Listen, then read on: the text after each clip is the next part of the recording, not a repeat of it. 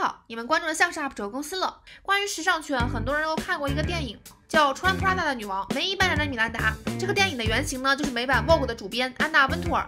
不过安娜本人并不喜欢这部电影，可能是因为她爱穿香奈儿吧。开玩笑，因为这部电影原著小说的作者曾经在安娜手下做事，安娜还对梅姨放了狠话，说咱们的梁子结下了。且对时尚圈的所有人打招呼说，不要参与这部电影的任何工作，否则后果自负。所以大部分时尚人士都避免在这张电影里出现，以免招来无妄之灾。在电影的首映礼上，大家都以为安娜会来砸场子，结果她真的穿着 Prada 出现了。为了表达自己对这部电影的不满，她还拍了一个纪录片来展现自己的工作状态。这么记仇，是不是天蝎座啊？哎，我搜了一下。还真的是，虽然安娜很抵制这部电影啊，但是这个电影其实还是很传神的，表现出了她的性格和工作特点。安娜总是一副不管笑的样子，要求也是非常多，比如说员工不能和他同坐一部电梯，讲话必须直奔主题，不许说一句废话。实习生和他说话的时候，不能直视他的眼睛。他对员工的要求也非常高，员工在他面前也总是小心翼翼。没有人敢反驳他，甚至有一次一个员工被逼到说我要自杀，当然最后他没有自杀呀。现在他已经是 Vogue 英国的主编了，不仅对员工要求高，对粉丝和网红也毫不手软。有一次，卡戴珊带着自己的女儿，刚刚十九个月的西北妹去看秀，小孩嘛总是难以控制的要哭嘛，于是吵到了安娜，于是安娜就规定说，任何人以后看秀不能带婴儿。二零零八年，她要求米兰时装周修改日程，理由是她想回家。好吧，有够任性的。安娜总是几十年如一日的波波头，零号身材。穿着裸色凉鞋，戴着墨镜。今天我们就来讲一讲高中辍学的安娜是如何一步步走到今天的位置。虽然安娜是美版 Vogue 的主编，但她其实是一个英国人。想不到吧？一九四九年十一月，她出生在伦敦。十一岁的时候，安娜考入了伦敦王后学院，但是她并不喜欢读书，更不喜欢校服。于是她动手自己改造校服，把裙子卷短往上拉，然后经常逃课去各种社交场合。结果有一次，安娜穿着自己改造的裙子去学校，被校长抓住批评，说她应该退学。于是叛逆的安娜真的退学了，连高中毕业证都没有拿到。二十一岁的安娜靠拼爹拼来了一份正式工作，在伦敦的杂志做编辑，开启了自己的时尚生涯。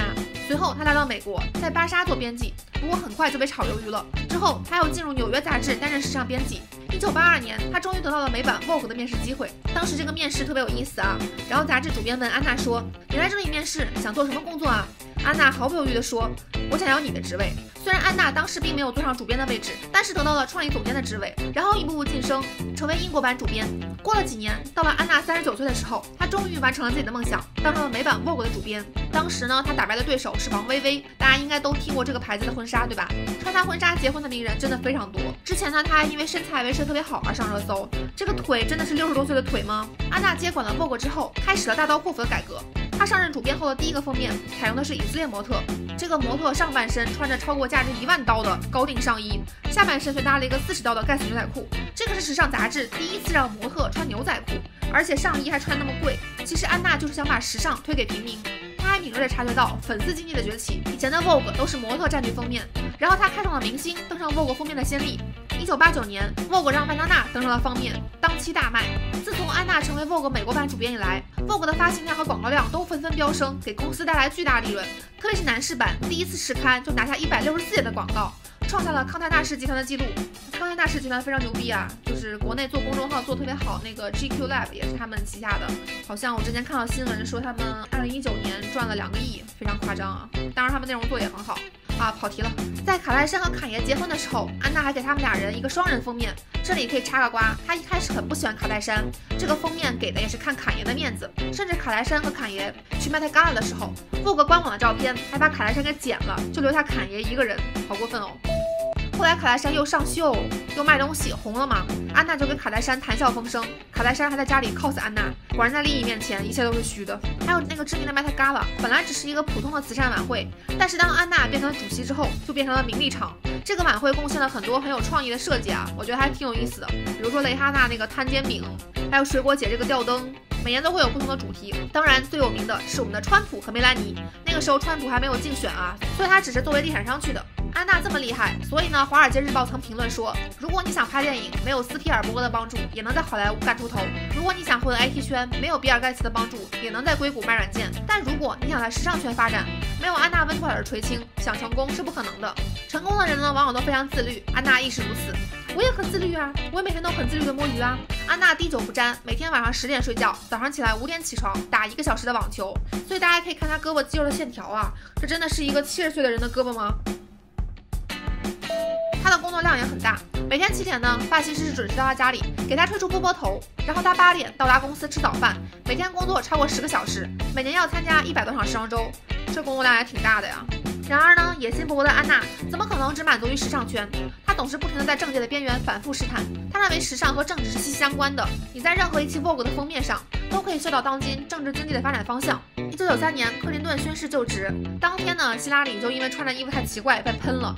她戴的那个帽子被《纽约时报》吐槽说像一个 UFO。安娜觉得这是个机会，于是她立刻给希拉里写信，说希望自己能给她提供时尚建议，而且这只是朋友间的相互帮忙，不是正式的时尚顾问。在经过安娜改造之后，希拉里的衣品提升很明显，吐槽的声音也逐渐消失了。安娜帮了希拉里这么大一个忙，希拉里也礼尚往来，比如说邀请她去白宫参加活动，然后戴安娜访美的时候也让安娜去了。安娜站在了戴安娜旁边，笑得特别开心。一九九八年，白宫爆出了莱温斯基丑闻，就是那个克林顿和实习生乱搞的事情。希拉里表示非常支持丈夫，但是吃瓜群众不信啊，对吧？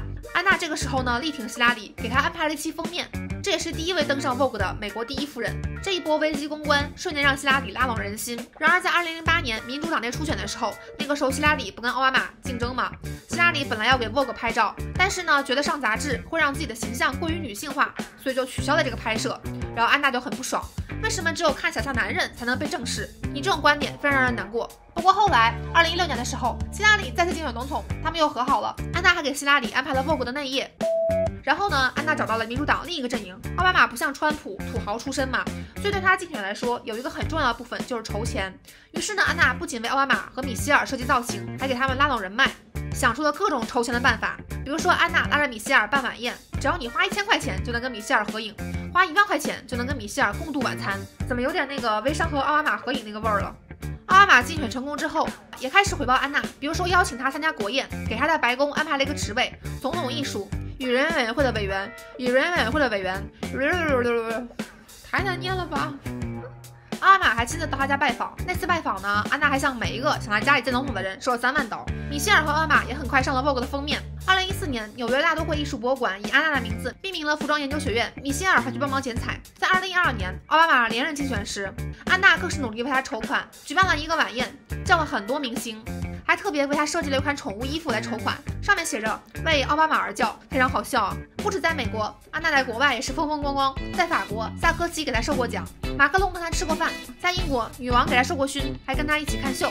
这么厉害的安娜，当然也有人很讨厌她呀。比如说，安娜一直穿皮草，那些动物保护组织就非常不喜欢她，然后她走红毯。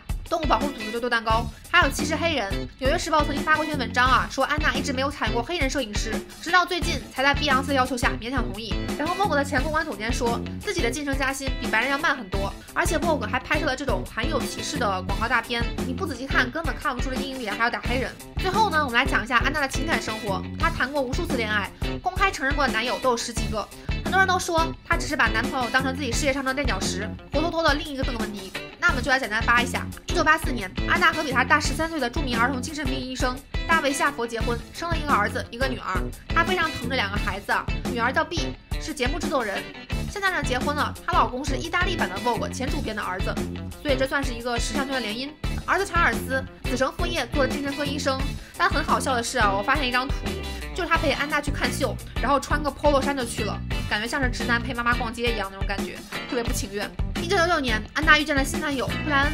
布莱恩是一个有钱人啊，他有自己的移动电话公司，而且他不仅有钱，他是民主党全国委员会财务主席。但两个人相遇的时候都不是单身，但是两个人就是看对了眼，决定各自回家离婚。为了快速离婚，谢尔拜把他的所有房产和大多数现金给了前妻。可就算这样，他还有几千万美金的身家。然后克林顿当时在空军一号上听说谢尔拜要离婚要出轨，还专门打了个电话安抚谢尔拜的老婆。可想而知，当时谢尔拜有多重要啊！两个人都离完婚之后，就正式开始在一起了。看那个时候照片啊，他们一起看美网。然后安娜能在政界混得如鱼得水，大家都觉得和谢尔拜的人脉也有很大关系。这两个人一在一起就是二十年。可就在大家羡慕他们的感情的时候，谢尔拜变得越来越落魄。比如说呢，被爆出来欠美国国税局一百二十万美元的税，两个人关系开始急转直下，再也没有什么同框了。即使他们俩一同看美网，也没有什么眼神交流，这个肢体语言也很僵硬。我怎么觉得安娜像一个教导主任？这样，然后带着学生看球赛。两个人二十年之后终于爆出了分手新闻。现在呢，安娜也有了新欢。有人说她很功利，永远喜欢那种给她事业带来帮助的男人。但我觉得可能谈了二十年了，这可能本来已经要分手了。安娜的一生可以说是很传奇的一生！我现在才三十岁不到，我就经常觉得自己干不动了。我觉得七十岁的我应该是已经退休跳跳广场舞了。但是你看安娜，七十多岁了，整天穿小礼服，各种场合 social，每天高强度工作，一副精力用不完的样子。她的人生就好像一个大女主电影，坚强、现实、野心勃勃，只要给他一点机会就能往上爬。虽然他功利，对人毫不留情面，但做自己生命的主角，争取自己想要的，好像也没有什么对错可言。总之，我是希望活出他的样子。今天就到这里了，大家记得三连哦。如果大家喜欢我们的视频，欢迎点击订阅。如果大家不喜欢我们的视频，那请你好好努力，喜欢上我们。